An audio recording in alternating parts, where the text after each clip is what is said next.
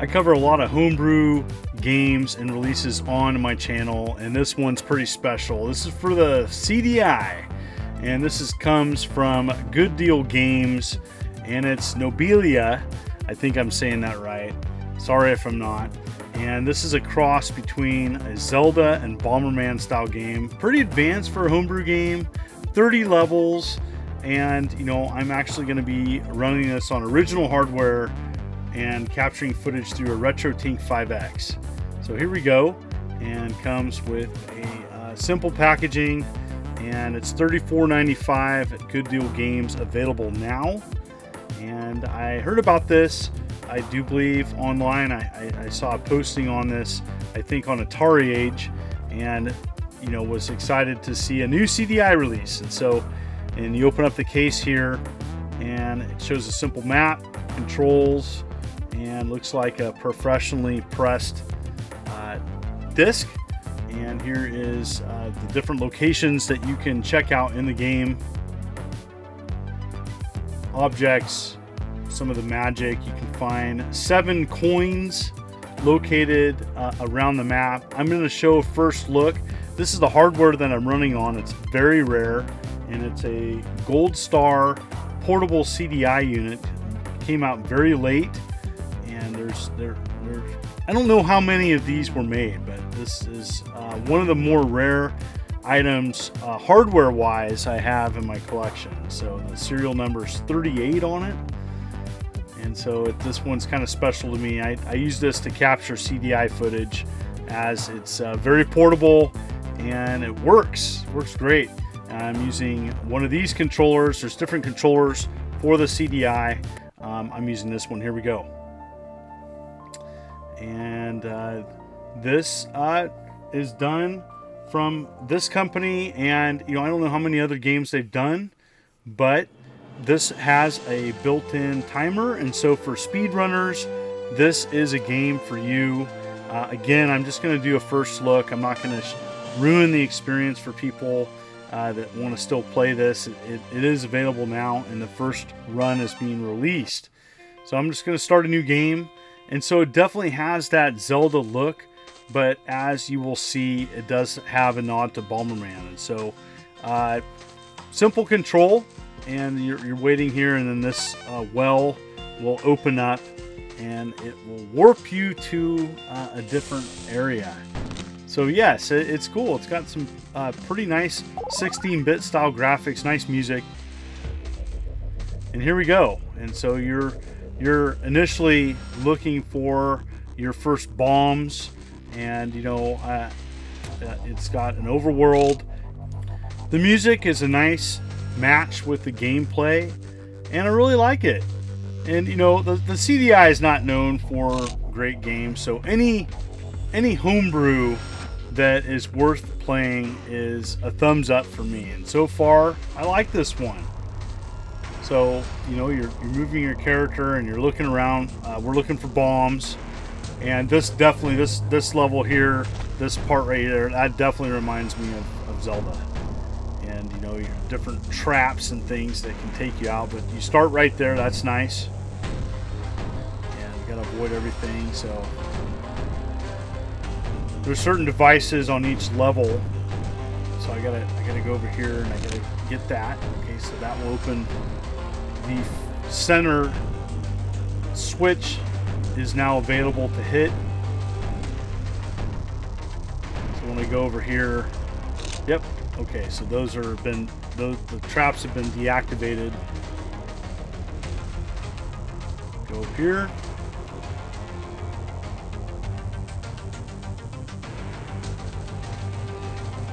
So you can see that you know I love that you can see other parts of the area that you need to go to or eventually get to, but you can't get to them yet. I always love that about uh, you know games such as like Metroid and Legend of Zelda they did a good job of like, hey, look what you can get to eventually, but you can't get there right now. so you got this slow moving bat that's uh, or monster that's chasing you down, and you gotta hit all these levers here, unlocks things.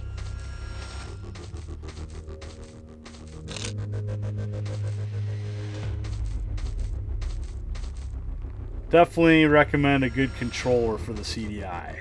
And uh, they are kind of expensive to find now, but if you can get a good one, it's gonna it's gonna make your life a lot easier, and it makes this game uh, more playable for sure.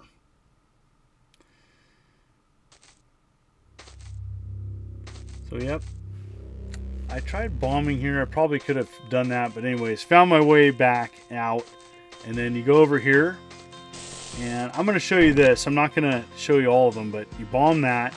Definitely a nod to Zelda, and uh, eventually he'll go over there. I'm going to take that out so you can bomb those, and it opens the world up. Once you have your bombs, it kind of the game starts. You go in here, and you get your coin. And so there's seven of them. The goal is to get all of them. And as you can see, there's a timer.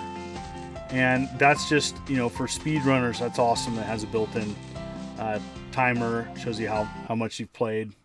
And then it opens up. So here, this is kind of where the game, I, I think, kind of starts. You're going around, checking out things and discovering different puzzles.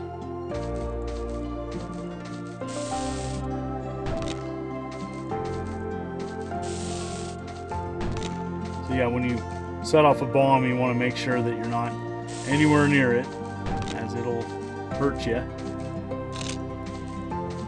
So that opens that up, and then off you're off to the races. Can I get over here? Can I go over here? Nope, that doesn't do anything. Okay. I don't know why I tried it again, but all right. I'll have to show you more of the world. Fun little game, though. I think there's a lot of uh, puzzle aspect, aspects of this game. I think a lot of people are going to enjoy it, especially if you're kind of a puzzle adventure fan, uh, you know. And, uh, you know, definitely, uh, you know, the, the gameplay is a little bit like Bomberman, but it definitely has a look of Zelda. So this, this area here is tons of transport, so you're being warped around to different parts. And you got to figure out what to do.